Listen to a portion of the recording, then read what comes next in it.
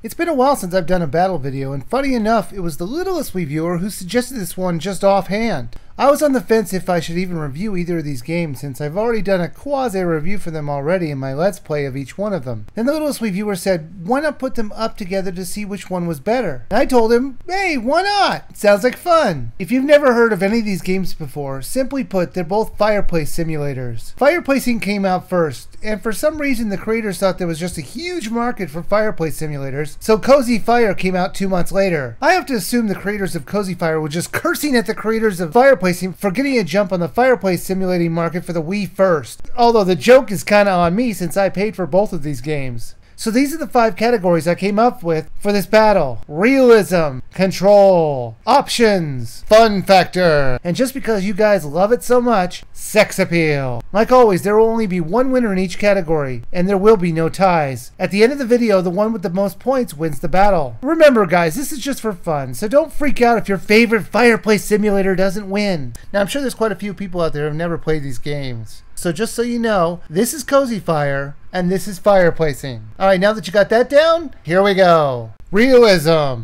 Fireplacing and Cozy Fire look alright. They both do an okay job of what a fire might look like, but the fire effects are not the same though. In manual mode in fireplacing, the sound effects are not synced to the actual fire. And in Cozy Fire, the logs will light up on fire so quick you'll think it was doused in lighter fluid. So they were both unrealistic in their own ways. However, I must pick one, and I pick Cozy Fire. Because even though the logs will light on fire really quick, they'll burn at a normal pace. Unlike fireplacing, which just kind of take forever to burn. Control.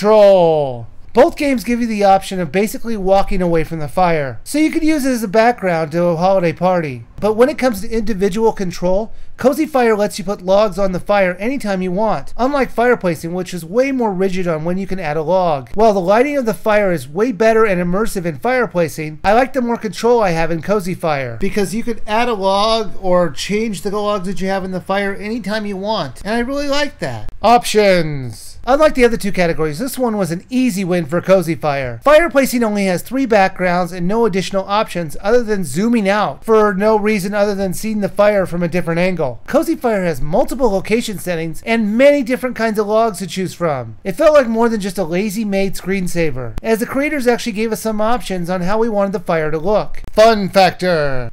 There really is only one fun thing to do in fireplacing, and I use the word fun lightly. That's lighting the fire by putting a pine cone down, setting it on fire, stoking the flame to make the logs go ablaze. Cozy Fire is different though. I've already talked about how you can mold the logs in the way you want. In fact, you can overload your fireplace and make the logs explode all over the place. It was a very cool addition that you could do at any time. Lighting the fire might be an interesting thing to do in fireplacing, but it's very restrictive when you could do it. And let's face it, seeing fireplace logs explode on the screen screen is just more fun to see. So I'm to have to give this one to Cozy Fire. Sex appeal. So I'm to have to decide which one I found more sexy. There are more backgrounds in Cozy Fire. There was really none that I would say oozes romance. Maybe the outside background, but that feels more like we're going camping. Fireplacing actually has a background setting called romantic, and I have to admit, it was pretty nice at setting the mood. So I'm to give this one to fireplacing, even though it's only slightly better than Cozy Fire. The winner is Cozy Fire! It almost swept the whole thing. Fireplacing is pretty bad. It's the most basic kind of release of a simulator, but at least Cozy Fire put a little bit of effort into the title. Now they're both 500 Wii points, and if you absolutely need a fireplace simulator, and you don't have a TV station which will do it for free during the holidays, then you'll be more satisfied with Cozy Fire.